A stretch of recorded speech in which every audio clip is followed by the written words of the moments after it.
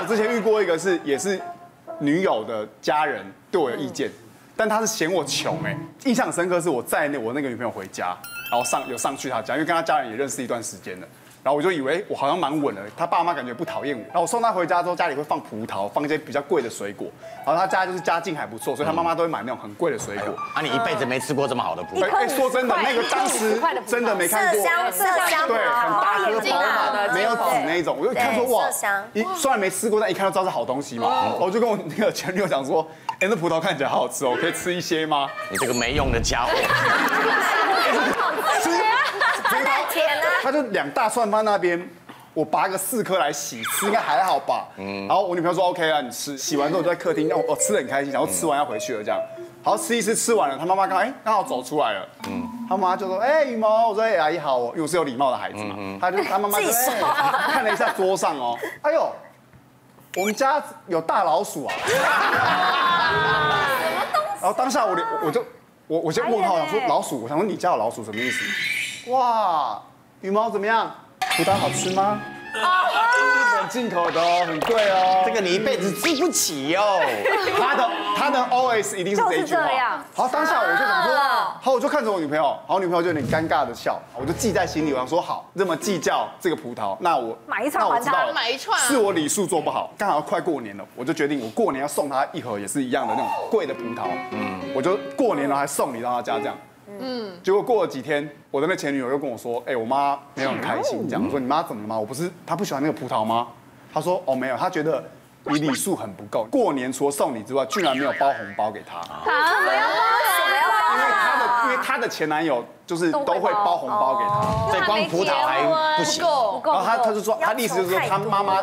间接觉得我好像没有什么能力，然后感觉好像没办法给他女儿好的生活。嗯，后来我就觉得算了，我我就自己各自努力嘛，我就跟他分手了。结果我发现他后来他妈妈一直帮他在找相亲的对象，都是那种就是中年或是那种像玉林哥这样，对对对，比较有有有至少有钱啦，有势，就是要我就不是送一盒麝香葡萄，送一台车，我我这整座葡萄园都送他。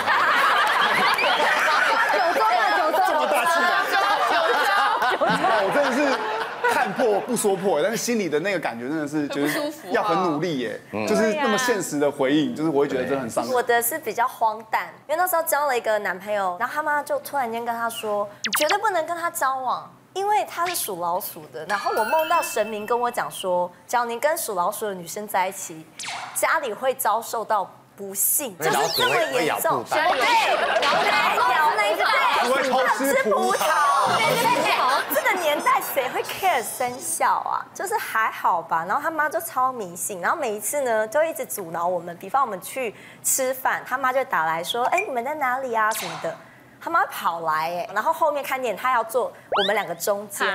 然后他开车，他要坐他前坐前座，我要坐后座，就是他一直在阻挠我们。然后那一天呢，他妈妈呢就看我穿一双高跟鞋，他说：“哎，你这双高跟鞋很好看。”我就想说那。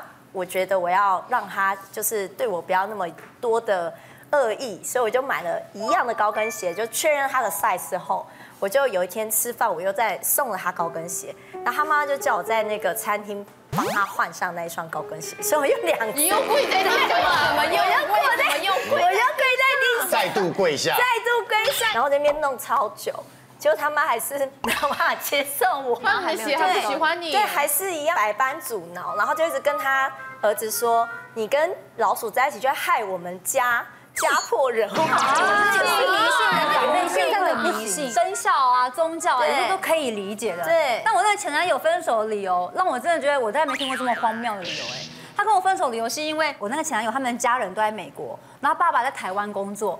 那我在想，他长大以后，他才跟着我回回来台湾工作。对。然后呢，说他爸在台湾长期一个人在台湾，他爸其实有小三，全家族都知道这件事情嘛。然后有一次他跟我吵架的时候，他就跟我说：“我们我我觉得我们应该要分手。”他分手的理由是因为你看，因为他就是 A B C，讲话就是有点很讨厌那种口气。他就说：“你看，我爸就是这样啊，我爸就是个 A，我我爸就是有小三啊，因为我所以我学人类学，我跟你讲，我心里就是有这种基因，我就流他的血，我跟你讲，我就一定会劈腿。我就是流他的血啊！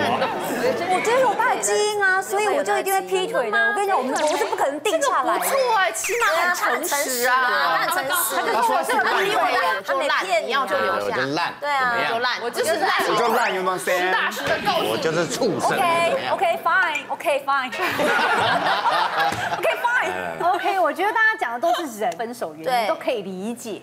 干嘛是跟乌龟啊？不是，我的故事是闺蜜，就是哦，你看也是个龟，你看闺蜜直接就是把我男朋友吃闺蜜了。对，但但我不能忍受的是她在生日宴、生日会上面直接开始。你的生日会吗？对，你的生日，对我这个闺蜜就是我以前大学朋友，认识十几年的闺蜜，然后同样回来台湾，然后做差不多圈子的。我常常会找我男朋友，然后找他出去，出去的他就说：“哎呀，你跟你男朋友去玩啦，不要你就不要找我啦，我说你们去就好。”找我还跟他玩过，别人找我好累。但是他其实都在外面跟我们圈子的朋友一直传说，一直放话说，哦，我跟我男朋友分手了，我跟他在一起。感情很好，然后有一天我就收到一个朋友就传讯息跟我说，哎，你的闺蜜在外面放话，跟你男朋友怎么样怎么样怎么样，我就好，我心里有底了。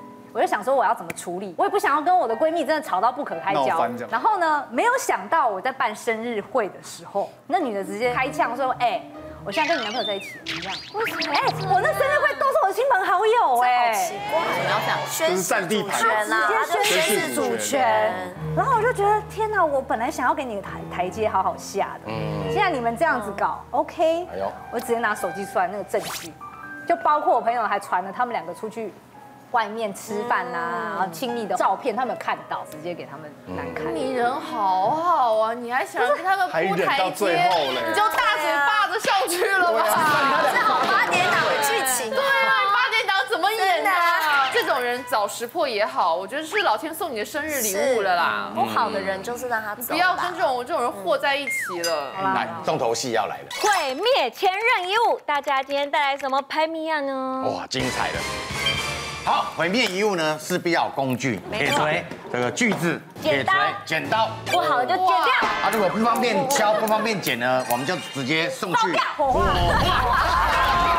我们直接送去那个第一殡仪馆，对对，彻底结束劳师。动众啊！真的孽缘，哎，不过话又说回来，你有没有找过那个强哥，他有留下前任的遗物？我跟你讲，这个真的被我找到了。哎呦，哎，他这么谨慎的人呢，但它很妙，它就藏在他们更衣室的一个角落，有一个大概这么大的盒子。还藏哦。我称它为时光宝盒，嗯嗯嗯。因为我当我打开的时候，里面一开始拿出来就是他以前的 model car，然后跟一些拍杂志啊，嗯嗯什么什么内页啊。是我想说，哇，这是一个好念旧的人哦。越翻越下面不得了，开始报纸，但是这个报纸怎么看都没有他的作品，是他的绯闻。他还在回味对。他留绯闻的他有报纸一历任的绯闻报纸，然后下面开始有些照片，然后卡片，然后最后还有被我收到一本，就是他当兵的日记，然后当兵的时候他。没错，他那时候有一个女朋友里面写的满满说老婆丹丹呐，然后等你等我回来哦什么的。老婆记得汇钱过来哦。他那时候在当兵。敢讲，我想说先放着，等到搬家的时候，我就整个偷偷把它拿去烧。怎么可以有、那个？因为你烧掉的不是那些日记，烧掉的是他所有的回忆。对他也是这样讲，对，他也说这都是我的回忆。谁在意你跟别人的回忆？回忆就对呀，藏在心所以你回忆里就放心里就好。对啦，因为啊结婚就是重生啦，以前呢种种就死掉对了。对过往对过去了。如果你喜欢我们的讨论呢，快订阅我们的 YouTube 频道，按下小铃铛，收看最新影片。欢迎大家在影片下面留言给我们意见，想看更多精彩内容，请点选旁边的影片。